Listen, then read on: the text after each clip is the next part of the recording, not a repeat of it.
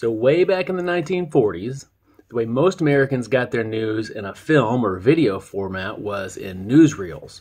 They didn't get it through TV because while TV technically existed, virtually no one had it. So, newsreels were short news segments designed to be aired before and in between motion pictures in your local theater. So, you'd go to the theater to see a movie and they'd have commercials and newsreels and other things in between the features.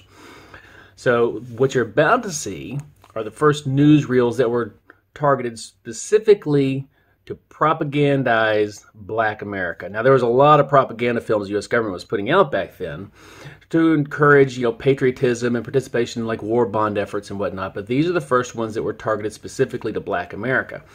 So these what you're about to watch is a, an example of those and I find them fascinating just because we're seeing uh, a part of black America really of America that we don't normally get to see. So I hope you enjoy them and please like and share. That's a really big deal for a small YouTuber like me.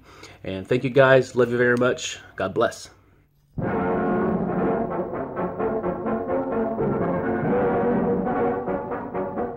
American News brings you our people's contribution to America and freedom.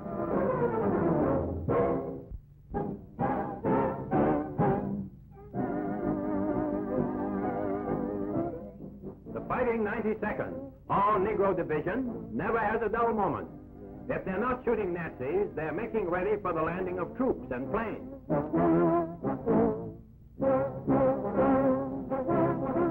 Anti-aircraft guns are in action. For a landing field is to be completed. Fellows have to work unmolested. Those big bulldozers, like the Yanks that handle them, sweep everything before them. Job about done. That 92nd Division goes ahead to victory.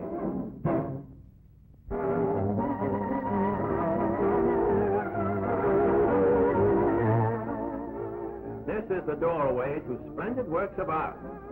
These students are here to see a prize mural. Rex Goreleigh, director of the center. Carter's painting won first prize in the contest held last fall, judged by a jury of famous painters. The contest, like this gallery, has been accorded much favorable notice in the press. Title of the mural is The Negro in Professional Life, and it is graphically delineated.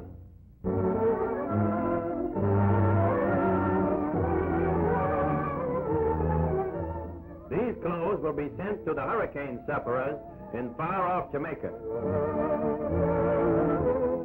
R.S. True, president of the League, and Albert Bolton, representing the movement in the West Indies. With Mr. True and Mr. Bolton is the Reverend Ethelred Brown, secretary of this philanthropic organization. This is a national movement among the Negro people, and certainly a highly worthy one.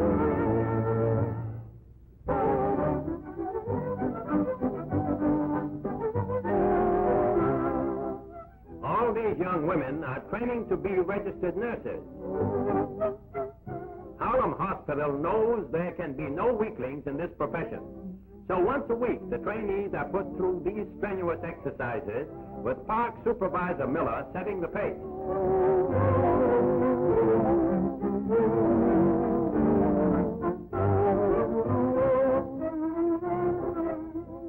This is grand for the health and certainly for the figure.